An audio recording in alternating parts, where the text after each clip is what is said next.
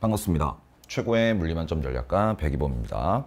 자, 2022학년도 7월 학평.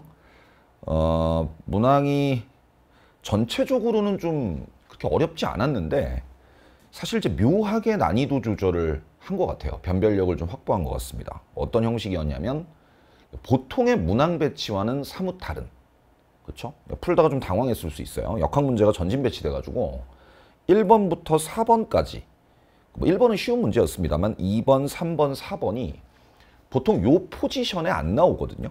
그러니까 보통은 이제 지식형 문항이라든지 좀 지엽적인 문항들을 1번부터 6번까지 1페이지에 배치하고 난이도를 보통 3페이지부터 조금씩 늘려가는 게 일반적인 양상인데 이 초반부에 좀 기를 죽이는 그런 포맷. 뭐 문항 하나하나만 따져보면 뭐 그렇게 뭐 많이 어려운 문항은 없었습니다만 어 뭐 그런 이제 특징이 있었고요. 그 다음에 여러분들이 굉장히 좀 부담스러워하는 전기력 합성 유형이 빠졌습니다. 그러니까 문항 구성상으로도 조금 특이했어요. 그러니까 이제 그걸 왜 안 냈는지는 알 수가 없고 오히려 이제 수소원자 모형, 어, 원자 모형과 관련된 문항을 중복해서 두 문항이나 냈죠. 그러니까 그런 부분이 약간 특이사항이 아니었나. 그래서 제가 봤을 때는 뭐 형식이라든지 어떤 구성으로 봤을 때는 전통적으로 평가원에서 출제하는 그런 어, 문항과는 좀 사뭇 달랐다. 뭐 그런 이제 어, 특징이 있겠고요. 아무래도 뭐 재학생들만 치러진 시험이다 보니까 치른 시험이다 보니까 컷은 조금 낮게 나왔습니다. 뭐 1컷이 뭐 44, 아직 뭐 완벽한 컷이라고 볼 수는 없겠지만 그래도 하루가 지난 지금 1컷이 44, 뭐 2컷이 39, 뭐 이러더라고요. 그러니까 이제 컷 분포는 뭐 적절했던 것 같고 만일에 이제 재수생이 N수생이 모두 응시를 했다라고 한다면 전집단 응시를 감안했을 때는 컷이 한 2, 3점 이상 올라가지 않을까.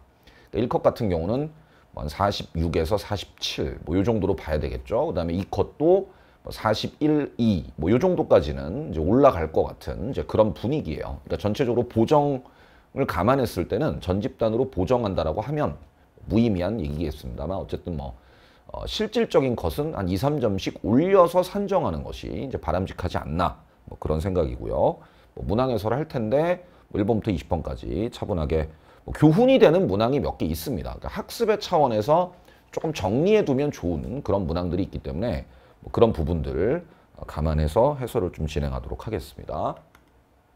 1번은 뭐 전통적으로 쉬운 문제죠. 뭐 등속 원운동.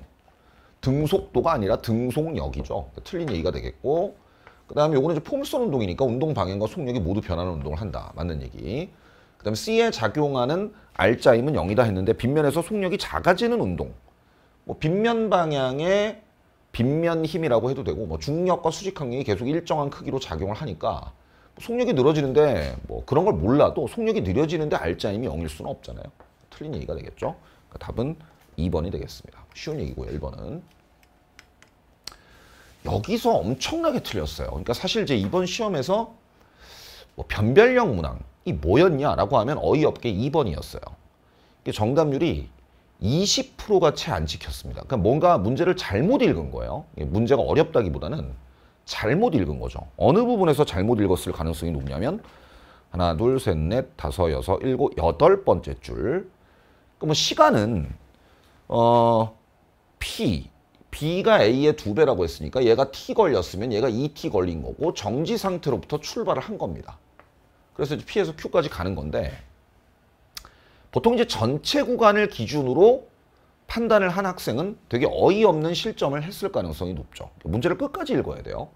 무슨 얘기냐면 A가 P에서 Q까지 운동하는 동안 다시 말하면 내가 이제 A가 운동하는 시간을 T라고 하면 T 동안의 상황을 판단하는 건데 전 구간을 놓고 비교를 해서 틀렸을 가능성이 높죠. 뭐 이게 가볍게 속도 시간 그래프 그려보면 별로 어려운 문제는 아니었거든요. 뭐 A가 T 동안 이렇게 움직였다고 하면은 그죠? B는 같은 거리를 움직여야 되기 때문에 두 배의 시간 동안 다시 말하면 요 속도와 요 속도가 EV, V가 된다는 거예요. 여기까지는 뭐 어렵지 않죠. 그러니까 A가 B의 4배가 되는 물리량을 찾으라고 했는데 뭐 일단 가속도는 4배입니다. 얘가 A라고 하면 얘는 4A가 되겠죠. 시간은 절반인데 속도가 2배 변했으니까 4배 되는 거 맞고요.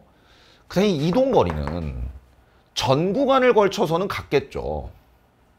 그런 실수를 했을 것 같아요. 그러니까 전 구간을 통틀면 이동 거리는 당연히 PSQ까지 같은 거리를 이동했으니까 같을 텐데 그게 아니라 요 거리랑 이 거리 다시 말하면 A가 움직이는 동안의 상황을 시간을 그렇게 제한을 했거든요. 거기서 실수를 했을 가능성이 높죠. 이게 2분의 V니까 결과적으로 이 넓이보다 요 넓이가 4배가 되겠죠. 이것도 맞아요. 여기서 아마 실수를 굉장히 많이 했을 것으로 보입니다. 그렇죠? 이거는 뭐 몰라서 틀렸다라기보다는 이제 뼈저린 교훈을 좀 얻어야 돼요. 평균 속력도 0에서 2분의 V까지면 뭐예요? 4분의 V죠. B는. 얘는 0에서 2V까지니까 V란 말이에요. 이것도 4배가 된단 말이죠. 그죠?